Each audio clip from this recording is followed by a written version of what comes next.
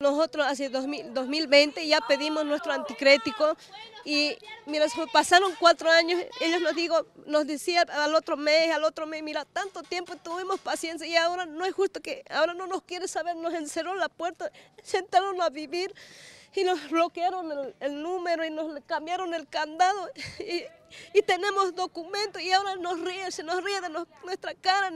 o sea, nos desconocen, nos ven como locos y no puede ser y por eso pedimos justicia. Me agarraron, me golpearon, yo me esforcé y no me dejé. Yo estoy pidiendo mi derecho, quiero hablar y, tiene, si me dan yo me voy a ir, me golpearon, me agarraron y así me luxaron mis piernas, mis costillas, no podía mover ahorita así flotando, me estoy calmando, mis dedos me, están, me agarré de los fierros, me luxé, pedía auxilio, no había nadie. Yo pido que me devuelvan mi dinero y no, no es necesario que me estén golpeando. No me devolvió todavía, me dice que me va a devolver y no, yo le dije no voy a desocupar hasta que usted no me devuelva, le dije yo, porque ahí me siguen mis cosas hasta ahí y sigo viniendo yo, pero sigo viniendo, digamos, y no sé si no,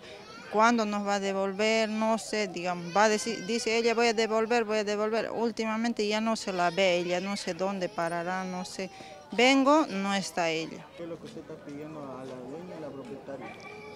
que nos arregle pues para ella también, para que esté más tranquila y nosotros también más tranquilos y no los molestemos. ¿Por qué lo vamos a molestar nosotros si ellos nos van a devolver ya todo?